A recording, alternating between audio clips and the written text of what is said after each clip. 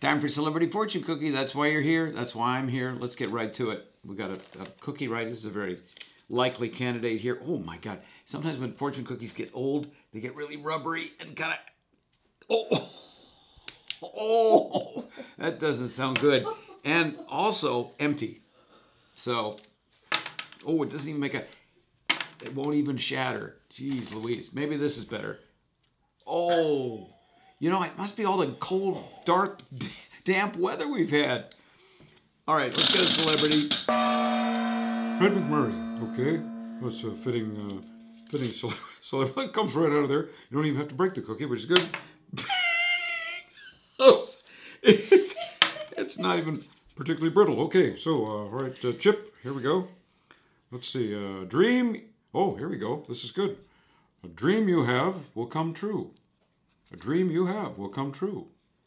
And let's let's let's put the gas on that a little bit. Say the dream you have will come true today.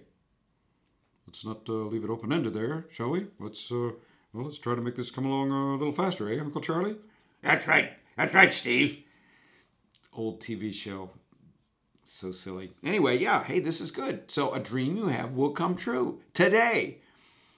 Now, have you been dreaming about things? I mean, is it the kind of dream that you you know you have it at night when you're not really paying attention, you forget it in the middle of the day, or is it an ambition you have, a, a desire you have for the future, that kind of dream? I think that's the one we should have come true today, and it can be big or small. Bigger the better, though. So get on that. You can be uh, the person that causes that to happen.